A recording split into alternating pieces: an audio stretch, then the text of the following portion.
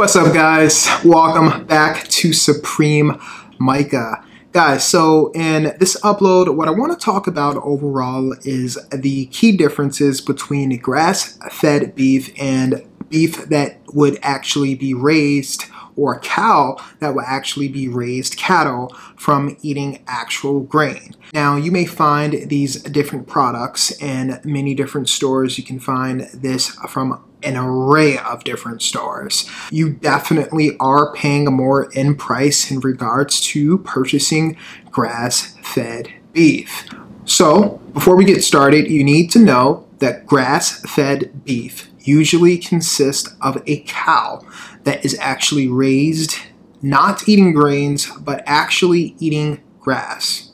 You may be wondering exactly why someone would actually purchase grass-fed beef.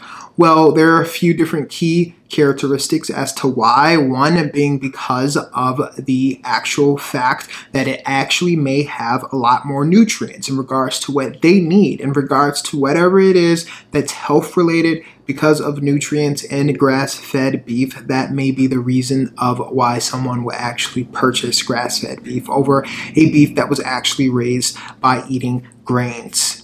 It's also important to understand too that just because you have a package of beef or just because you see that within the actual grocery store and it says grass fed, it doesn't necessarily mean that it was 100% grass fed. And what I mean is it doesn't mean that that cattle or that cow, the entire diet may not consisted of grass in its entirety, okay? So one of the main reasons why someone would actually purchase this as well is because it likely has less fat and also less calories. So in regards to the nutrients, as I mentioned in the beginning of the video, we're gonna get into that a little bit later, but overall, grass-fed beef, yes, it definitely will have less calories. It may not be a lot of calories that may differ from that of a cattle that was raised eating grain, but you may see some differences between the amount of fat and also the calories in regards to those two specific types of beef.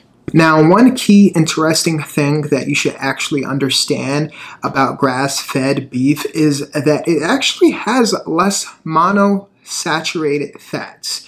Now, you may be wondering exactly what monosaturated fats are. Well, these are specific types of fats which you can actually find in olive oil and avocado. These are actually healthier fats, okay? These specific types of fat is something that you would actually want. It's a healthier alternative, okay? It actually lowers your weight and it also lowers health-related risk.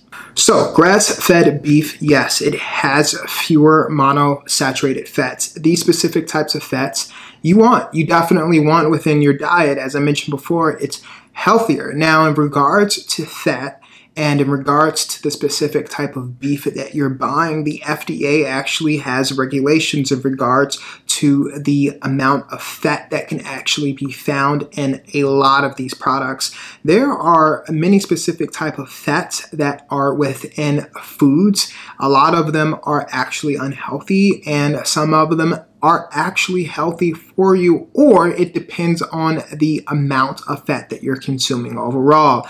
I've mentioned about the amount of fat or the fat consumption in regards to your diet and how that may relate to it being unhealthy or if you were attempting to build muscle previously created content surrounding that actual topic and area yes if you're eating fat excessively, it definitely can be bad for you. But in regards to what your physical goals are, depending on the amount of saturated fat that you're actually consuming in your diet, it may vary depending on whatever your fitness goals are.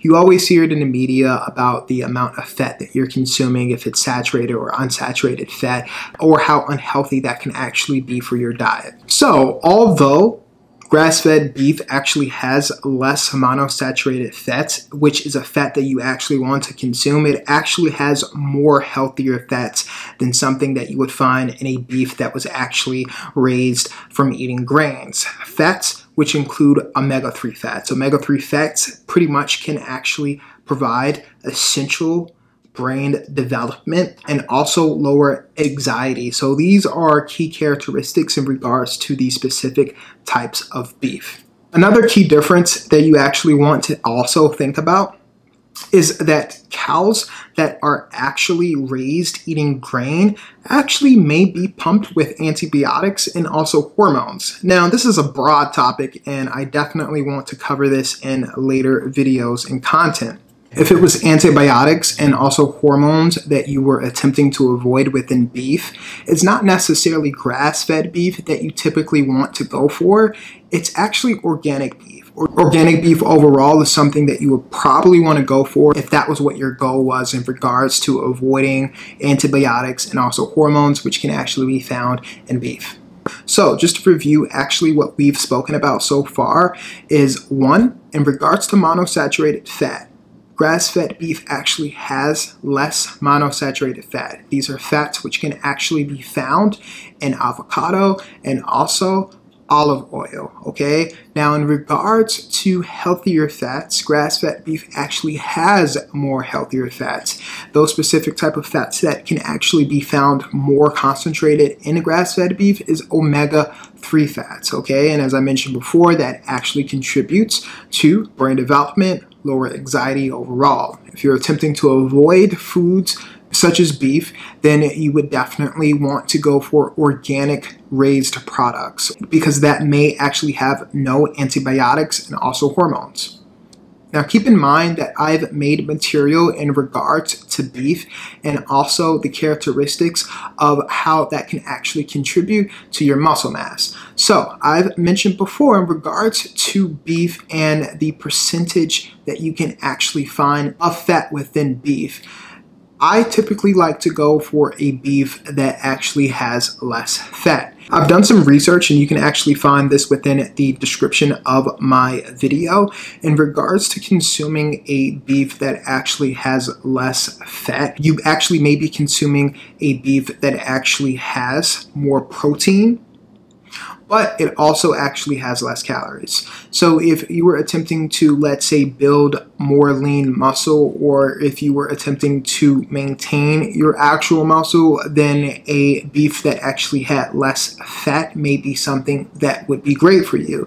Otherwise, someone would actually buy a beef that may have been concentrated with more fat because that's something that they wanted more of so that they can actually, let's say, build more muscle mass. So in regards to, let's say, a diet that, let's say, consisted of containing a beef which was, let's say, less or more fat, I would say go watch my video in regards to me actually explaining and reviewing exactly something about that scenario or topic. I also suggest to actually go view one of my videos which I covered about fat because a lot of people for some reason feel like fat overall is bad for you but you overall need fat for your bodily energy and actual function of movement. It provides energy for your body, such as carbohydrates do. And a lot of this is actually pretty interesting too, especially in regards to the keto diet. As I mentioned before, I'll leave a link within the description of this video for you to actually go view that.